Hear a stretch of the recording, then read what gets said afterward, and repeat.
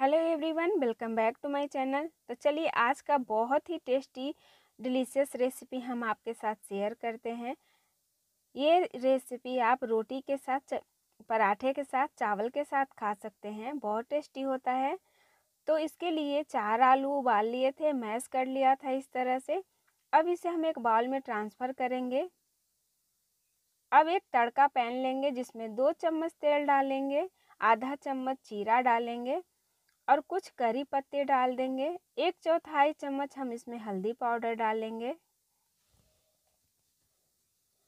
अब इस तड़के को हम आलू में डाल देंगे। अब हम इसमें स्वाद के अनुसार नमक और धनिया पत्ता डालकर इसे मिला लेंगे। तो हमारा टेस्टी मसाला बनकर तैयार है। अब हम इस मसाले को छोटे छोटे बॉल का आकार देंगे। हमें ज़्यादा बड़ा नहीं लेना है। अगर आप अपने टमाटर के अनुसार इसका साइज़ ले सकते हैं, जितना बड़ा आप टमाटर ले रहे हैं, उतना ही बड़ा ये आकार का आपको बॉल बनाना पड़ेगा। तो इस तरह से मैंने टमाटर लिया है, जो कि न ही बहुत ज़्यादा बड़ा है और न ही बहुत ज़्यादा छोटा है। और दोस्तों, एक बात का ध्यान रखिएगा, ये टमाटर बहुत ज़्यादा पका हुआ नहीं रहना चाहिए। इस तरह से इसका सारा गुदा हम निकाल लेंगे।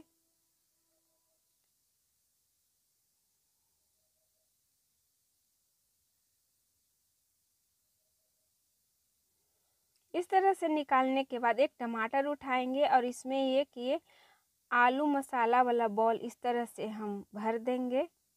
दोस्तों, ये रेसिपी काफ़ी टेस्टी लगता है खाने में, इसको आप रोटी के साथ भी खा सकते हैं, चावल के साथ भी खा सकते हैं, बहुत ज़्यादा टेस्टी लगता है, आप एक बार ज़रूर बना के ट्राई करिएगा। अब एक कढ़ाई में दो चम्मच तेल डालेंगे, अब हम इसे सारे टमाटर को कढ़ाई में डालकर एक मिनट के लिए पका लेंगे।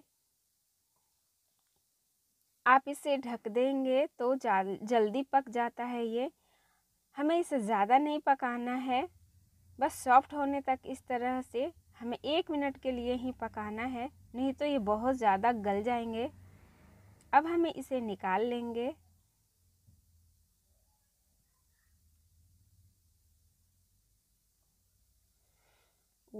उसी कढ़ाई में दो चम्मच और तेल डालेंगे और खड़े मसाले डाल देंगे, जैसे कि जीरा, दालचीनी, इलायची, लौंग, तेज़पत्ता। अब हम इसमें दो चॉप किए हुए प्याज डाल देंगे और सॉफ्ट होने तक इसे भून लेंगे। अब हम इसमें एक चम्मच अदरक लहसुन का पेस्ट डालेंगे और उसे भी मिला लेंगे। इसके बाद हम इसमें सूखे मसाले डालेंगे। आधा चम्मच हल्दी पाउडर, एक चम्मच मिर्च पाउडर, एक चम्मच डालेंगे हम इसमें धनिया पाउडर। थोड़ा सा पानी डालेंगे और इसे मिक्स कर लेंगे ताकि मसाले जले नहीं। अब हम इसमें टमाटर का पेस्ट डाल देंगे। दो चम्मच के करीब मैंने डाला था।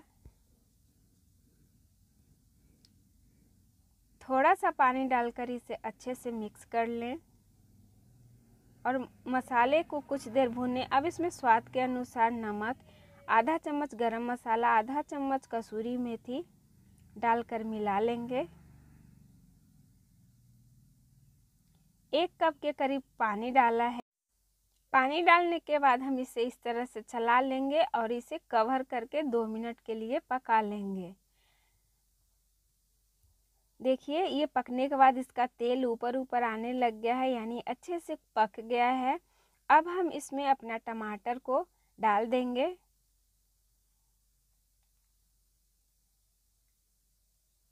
इसमें हम हाफ़ कप के करीब और पानी डालकर इसे मिला लेंगे।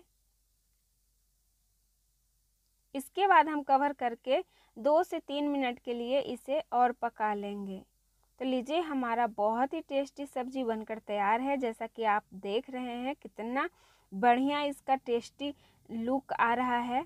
तब हम इसे परोस लेंगे।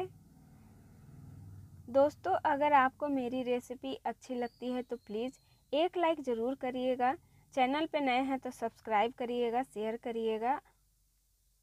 वीडियो देखने के लिए आप सभी का बहुत बहुत धन्यवाद।